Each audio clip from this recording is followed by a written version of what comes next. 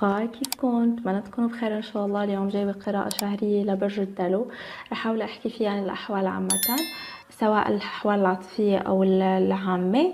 آه رح أتحدث كذلك حتى عن العزاب وهذه القراءة تنطبق على البرج الشمسي القمري الطالع وفي إمكانية أنه تكون قراءة عكسية إذا تكلمنا بالعلاقات العاطفية. Okay. بداية يا برج الدلو عم شوف في خصامات وفي مشاكل عم شوف في block في عدم الكلام بينك وبين هذا الإنسان. عم شوفك موجوع القلب يا برج الدلو عم شوفك كأنه حاسس بخسارة كتير كبيرة. يعني تقريبا الطاقة كأنه عم تقريبا ما في كلام ما في communication ما في حكي. okay؟ آه الطاقة كتير سلبية بهذه القراءة أو ما في مش في مشاكل أنت وهذا الإنسان. عم شوفوا لهذا الشخص لهذا الإنسان ممكن شخصية من برج الح... يعني برج النارية. عم شوفوا شخصية بتعرف تتوازن بتعرف كيف تاخذ تحب وتشتغل بأشياء أخرى. آه إنسان ممكن آه حاليا عم شوفه مبتعد عنك آه وما ما عم يحكي أبدا يا برج الدلو عم شوفه كذلك هذا الإنسان كأنه عامل لك بلوك أو ما عم يحكي من أصله وما عم يحاول إنه يحكي أوكي؟ عم شوفه لهذا الإنسان كذلك عم يفكر فيك. حتى لو أنه مبتعد بفكر فيك آه، يؤرقه هو. عم تجي بباله كل ليلة قبل ما ينام. عم شوفه عنده اهتمامات أكثر عملية وعم شوفه مبتعد وحاسس أنه خسرك أو خسر العلاقة. بالنسبة لإلك آه، عم شوفك عم تنتظره أو عم تراقبه عن كسب أو من بعيد بس ما عم تبدي شيء. أوكي عم تعمل كأنه الأشياء إذا هو ما عم يحكي معي خلص ما رح أحكي معه.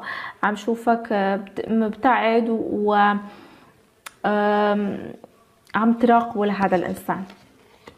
ممكن هذه العلاقة علاقة كرمية علاقة صار زمان وأنتم مع بعض أو علاقة فيها درس. لازم تتعلم درس من هذه العلاقة لأنه دائما العلاقة الكرمية لازم تتعلم منها شيء. آه، تاخده بحياتك كدرس عشان تعرف تتعامل بأشياء أخرى. بالنسبة لإلك عم شوفك كتير كتير شايل بقلبك تجاه هذا الإنسان بس ممكن عم شوفك أكتر تهتم لصحتك لجمالك.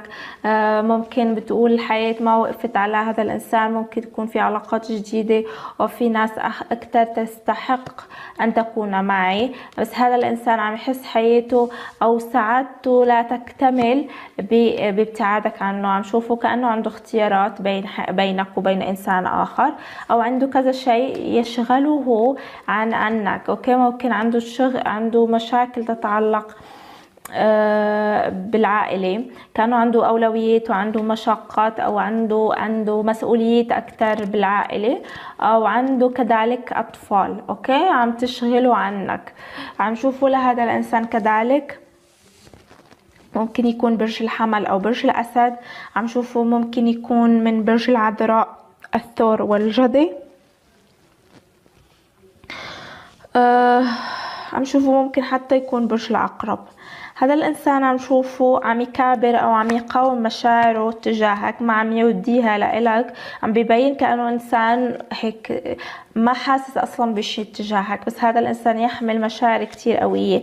أما أنت تريد فقط شيء واحد أنت ما عم تحكي معه عامل بلوك وكل شيء بس بدك إنه يرجع لحياتك لحتى يطلب السماح منك. وبعدين أنت ممكن آه تقول له ابتعد عني أو شيء. المهم إنه تاخذ كرامتك أو أو أو كأنه تشبه خليلك برج الدلو على إنه okay آه، أنا أرجع لي حقي okay. بالنسبة لبرج الدلو على فكرة عم شوف في مراقبة. انت عم تراقبوا لهذا الإنسان في مراقبة في في ممكن تراقبوا على ال social media عم تسأل عنه عن بعيد. بس ما عم تحكي معه okay. عم شوف على إنه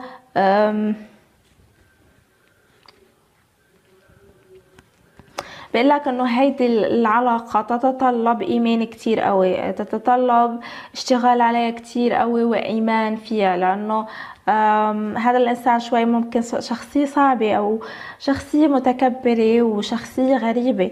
ممكن حدا مزاجي جدا يحكي معك اليوم بكرة ما يحكي معك. آه، منه ثابت okay؟ مثل برج الدلوش برج من الأبراج ال fixed أو الأبراج الثابتة ما ما بيغير كتير. ممكن أنت كذلك تتعامل مع برج الميزان. عم شوف على إنه آه، ممكن مشاكلكم على إنه هي آه، دائما أنت يا برج الدلو عم تعاندوا أو عم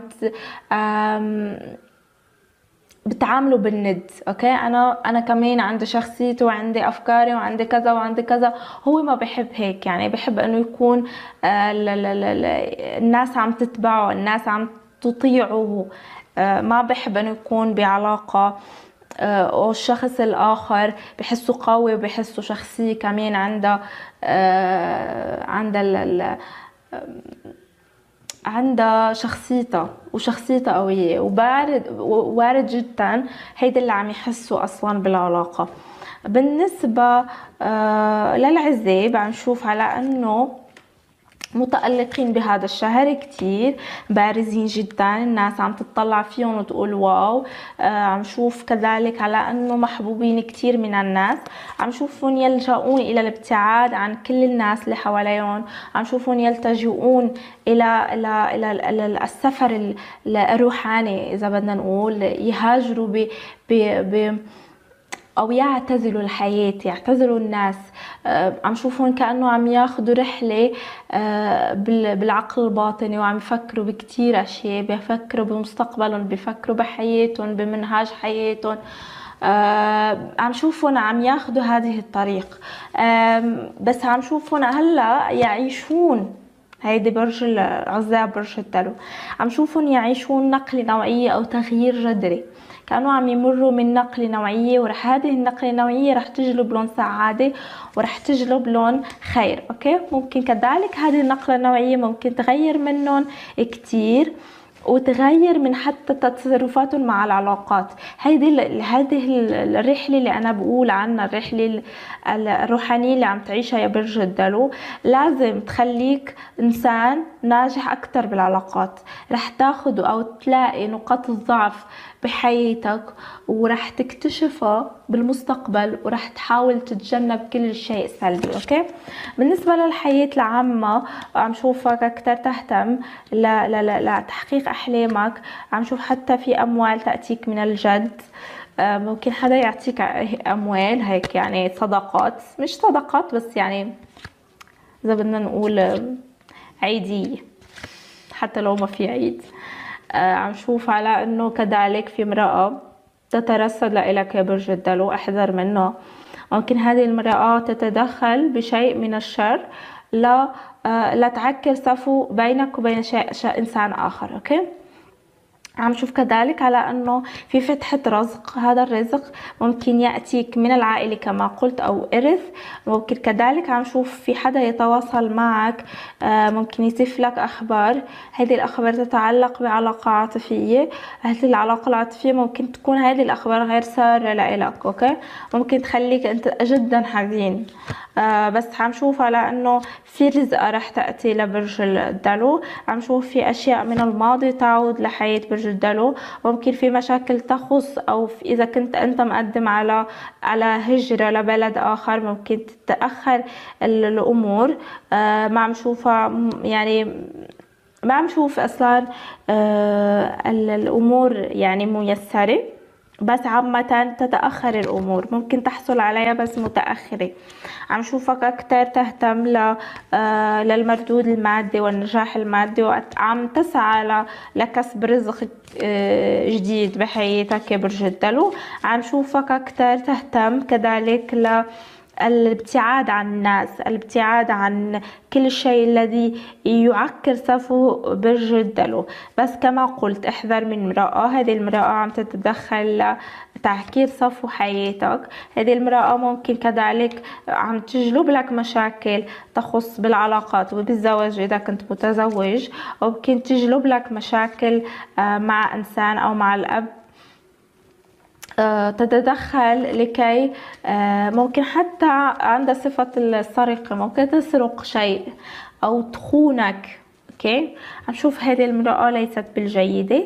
ممكن هي من الأبراج النارية أو الأبراج الهوائية. بالنسبة لإلي عم نشوف إنه طاقتك الحالية آه كتير عم تحس إنه الطاقة جيدة أو أنت آه يعني في تفاهم. متبادل مع الشريك أنت عم تحس بأحاسيس جيدة مع هذا الإنسان وكذلك هو عم يشعر بذات المشاعر. عم نشوف في تفاهم في ألفة آه، في أخذ وعطاء يعني يعني أنت والشريك على وفاق بالوقت الحالي. عم تشعروا بطاقة إيجابية وطاقة كلها فرح. عم يشعر كذلك. هذا الإنسان أنه هو إنسان كتير يشعر بمشاعر تجاهك حلوة طاقة حلوة آه، بحب كبير. بحسك على أنه أنت خلص الإنسان اللي عم يحبه الإنسان اللي عم يرتاح معه آه، عم شوف في كتير طاقة جميلة بالنسبة لكم أنت والشريك.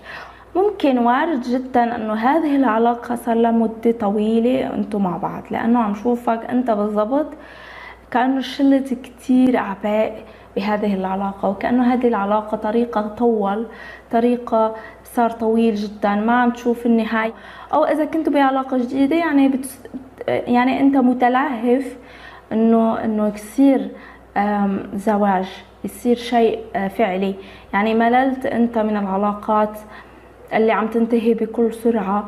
بدك علاقة دائمة ويكون يعني نتيجتها بسرعة. ما بدك إنه تدخل بعلاقة تصير فيها سنة وسنتين وثلاث سنوات وبالأخير ما تنتج عنا شيء.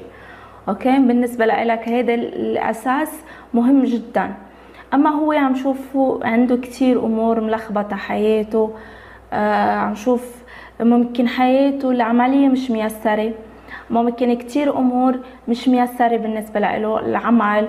ممكن يكون آه, آه، الطريق بحياته مظلم. ما عم يشوف طريقه بالواضح.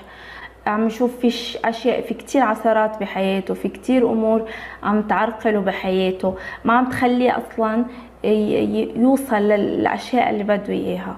أوكي؟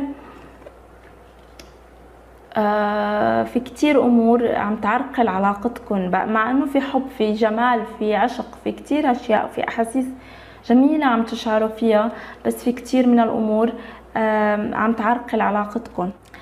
عم شوف على إنه أنت بدك توصل لنتيجة العلاقة بسرعة. بدك توصل إنه تكمل هذه العلاقة ويصير فيها زواج إنه تصيروا مو مستخبيين. يعني ما تصيروا بعلاقة حب فقط بدك شيء يظهر للعلن. في شيء يعني آه، الناس كله بتعرفكم إنه مع بعض okay؟ Okay. عم شوف على إنه عم شوف ان هذا الإنسان الأمر الذي يؤرقه بهذا الحياة هو العمل. بالنسبة له العمل جدا مهم عشان تصير العلاقة آه، فيها نجاح كتير كبير أوكي؟ آه، ما عم يشوف على إنه ما فيه يعني يتحمل أسرة أو عائلة إذا ما كان العمل بالنسبة له ميسر. عم شوف الأمر الذي يعيقه بالحياة هو العمل. آه كتير عم شوفه عم يشتغل عم شوفه كتير عم يجتهد بس ممكن عندكم عراقيل تتعلق بهذا الأمور. عم شوف على إنه كذلك هذا الإنسان آه يشعر بمشاعر كتير جياشة تجاهك بحبك هذا الإنسان يريد آه أن يكمل حياته معك بس في كتير عراقيل تحول بينكم. أو بتخليكم ما عم تتطوروا بالعلاقة. عم شوف كذلك على إنه كما يظهر يعني في كتير من الأشياء عم تخليكم ما ما عم تتطوروا ليش بقى؟ العراقيل الحياتية العامة. يعني عم تخليكم آه، ما ما تتطور. أوكي بقول لك الورق إنه آه، كل شيء رح يأتي بوقته. أنت ممكن متسرع بالوقت الحالي بدك تحصل على نتائج كتير آه، سريعة. بدك مثلا إنه يعني يصير زواج إنه الأمور تتيسر بسرعة. بس بقول لك إنه الوقت هو يعني كل شيء رح يأتي بوقته. ما تقلق ابدا okay؟ هون بيقول لك إنه آه، هيدا الوقت لتعطي مش لتحصد. لازم توقف مع هذا الإنسان بالوقت الحالي. لازم يعني تكون صبور جدا. يعني ما تتوقع بالوقت الحالي إنه يكون في result أو في نتائج كتير كبيرة بهذا الوقت.